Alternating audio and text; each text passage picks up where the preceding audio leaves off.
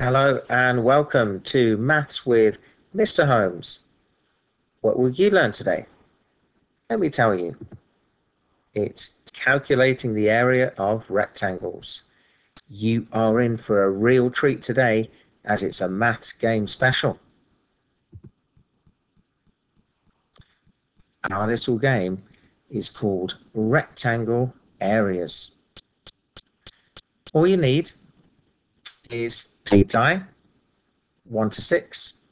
If you want to challenge yourself, go for a 10-sided die, a 1 to 10. You'll need a piece of squared paper, or you may use my extra special rectangle areas worksheet. This is a game for two players ideally. However, you could battle against yourself and find how many rectangles you can squeeze onto your worksheet playing the game rules. Let's have a look at the rules then. So each player is going to take turns rolling a 1 to 6 die, roll it twice and get two factors. So let's do that. A 1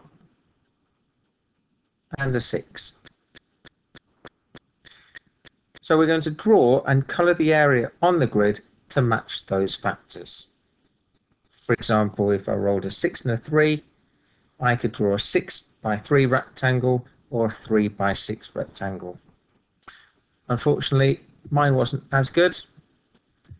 I only got a 1 and a 6. I'm going to choose the colour red and anywhere on my sheet I can decide to go 1 by 6 think I might try and go here. I want to go one across. One, two, three, four, five, six down. One across again.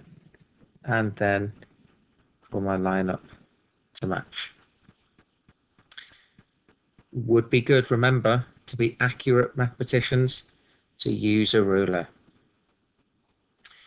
My next step is to write the measurements and the area inside the rectangle.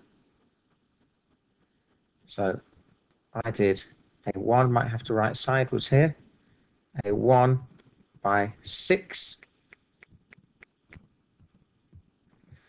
Remember, when we're working out the area, we can use our times tables to help by doing the length times the width. So 1 times by 6 will give me 6 we're measuring in centimeters. And if you can remember, area is measured in squares. So I'm going to put a floaty 2 there, which is the math symbol for squared. If you're not sure, if you find it a little bit tricky with some of your times tables, you can simply count the squares inside your rectangle. One, two, three, four, five, six. Now, I'm playing against somebody, so they are just about to take their turn. They got a five, lucky them, and a one, unlucky them. They will then, then repeat anywhere they want. They will draw a rectangle, one by five,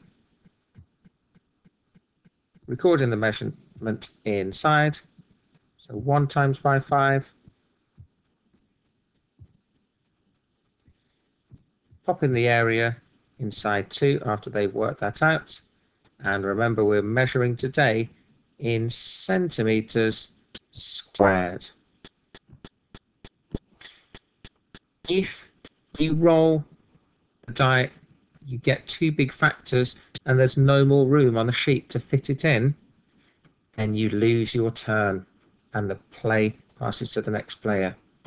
The winner is the player with the most area coloured, so you can add all of your areas of rectangles up. Now, just before you go and play, don't worry. If you perhaps rolled a 3 and a 3, so 3 across, and 3 down, you may think, oh no, I can't do that. Because, Mr. Holmes, that's a square, because all the sides are the same length. However, that is still a rectangle. It's a special rectangle where the area, uh, sorry, the sides are all the same length. But a square is still a rectangle. It's a special kind of rectangle. So, there you have it. You've got the rules.